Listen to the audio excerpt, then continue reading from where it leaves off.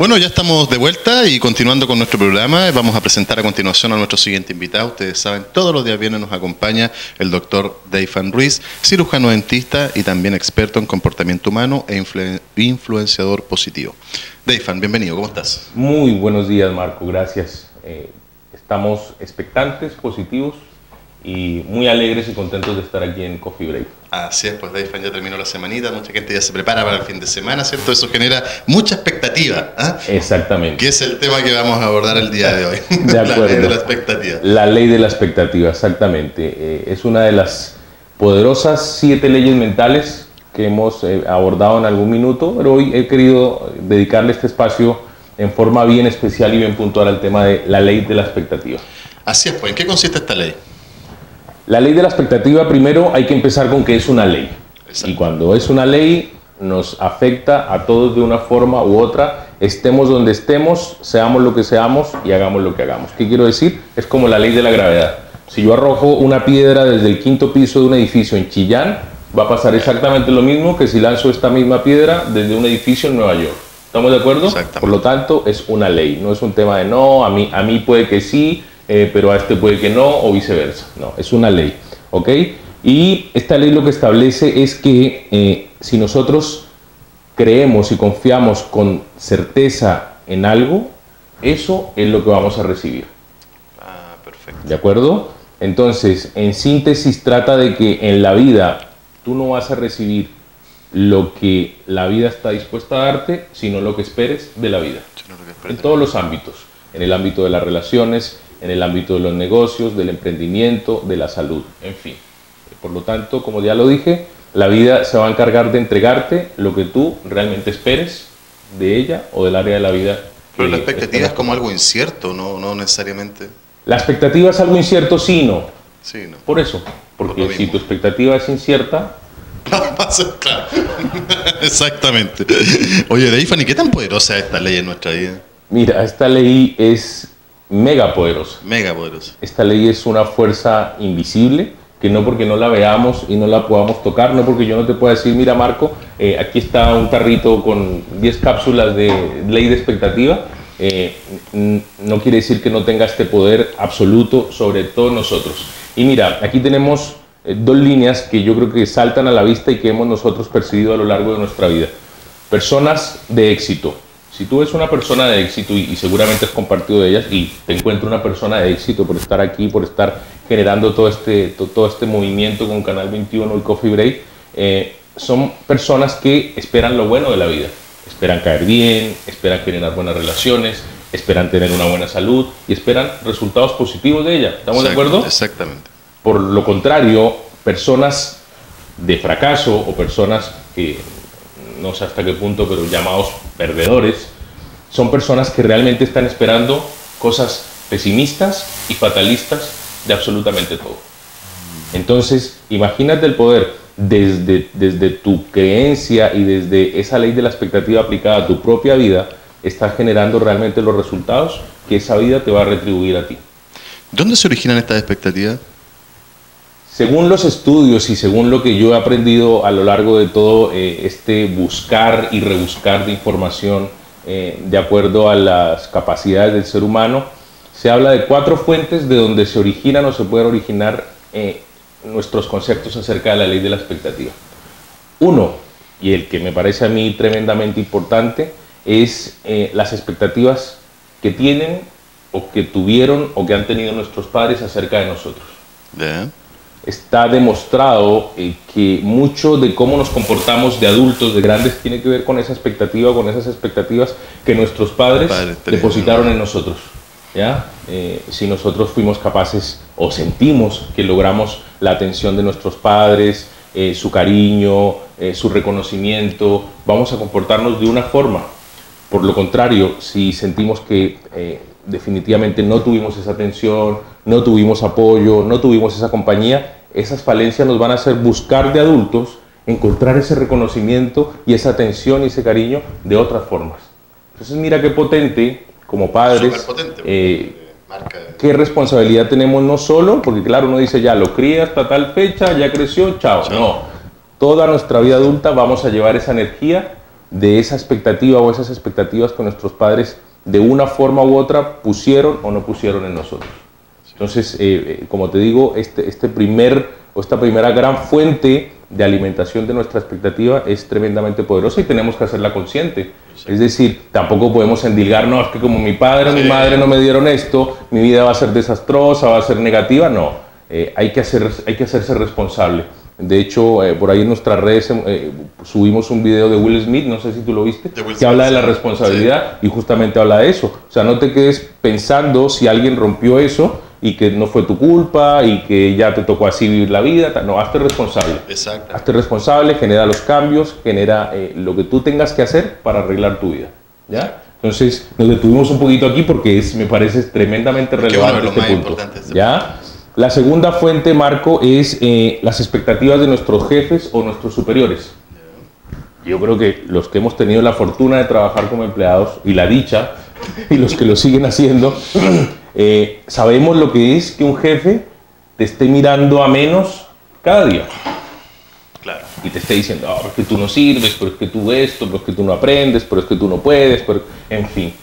Eh, y uno como jefe y como líder de una organización y de un equipo tiene que tener clarísimo esto. Exactamente. O sea, la gente te va a dar tanto como tú esperes de ella. Y potenciar, por supuesto, las cosas positivas. Pero, por supuesto, si tú pones esa, esa nota 7 en, en, la cabeza y en el corazón de tu equipo y de tus colaboradores, es mucho más probable que esa gente te dé ese rendimiento en algún momento a que si tú estás dándole duro, dándole el palo, eh, reforzando todo lo negativo, seguramente es mucho más de eso lo que tú vas a recibir. Yo lo practico, fíjate, tenido muy buenos resultados con eso. Bueno. Sí, resaltar las cosas positivas de los trabajadores, bueno, eh, generar esos lazos de confianza que son sumamente importantes también. Pero por supuesto. El rendimiento te aseguro que, obviamente, como tú lo dices. Tú estás hablándolo desde la vivencia y desde la práctica. ¿okay? Y ahí es cuando la teoría y la acción hacen un match, una unión y realmente generan el conocimiento real. Así que qué bueno tener ese punto de vista tuyo como emprendedor. ¿De acuerdo?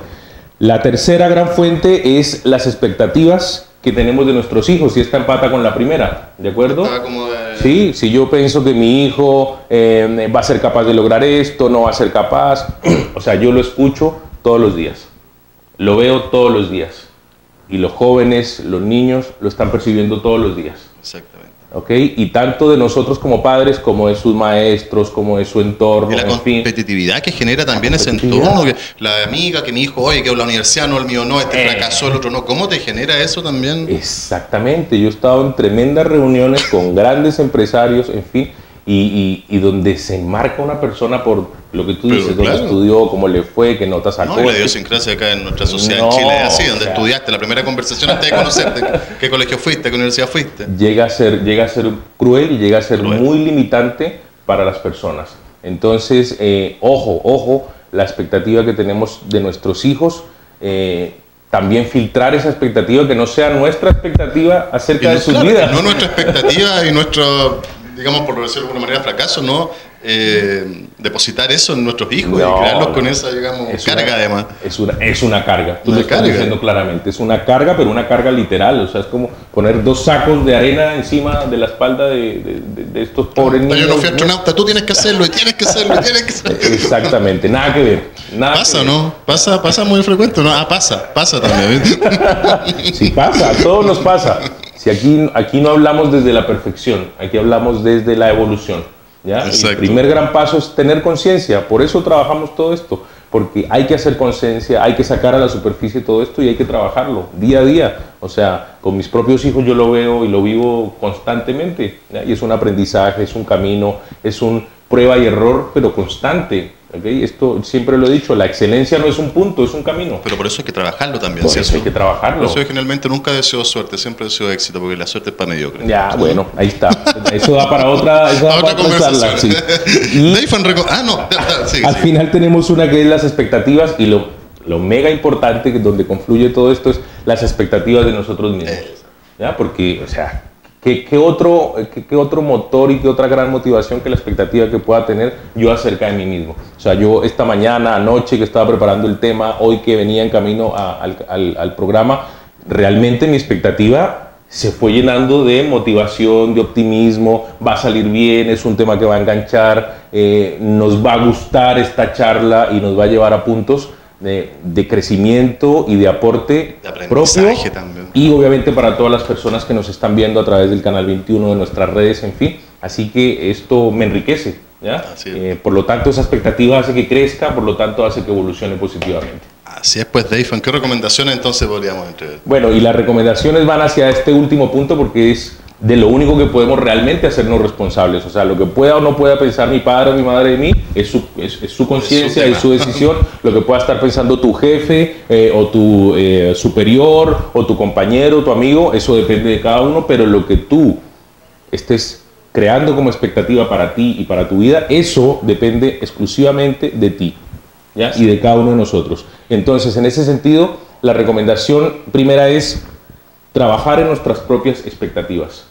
Tú lo dijiste hace un rato, o sea, se puede trabajar, obvio que se puede trabajar y se tiene que trabajar, se tendría que trabajar en nuestras expectativas como trabajar haciendo un muro, como trabajar poniendo un piso, como trabajar haciendo una cirugía. Es un trabajo diario y constante y tremendamente importante, porque es el que va a regir, como ya lo dijimos al principio, lo que la vida te va a entregar. O sea, imagínate, todos estamos esperando cosas buenas de la vida, en mayor o menor medida. Por lo tanto, si tú trabajas, alimentas y creces esa expectativa a nivel positivo, seguramente tus resultados van a ir en esa Van a ir en esa línea. ¿Ya?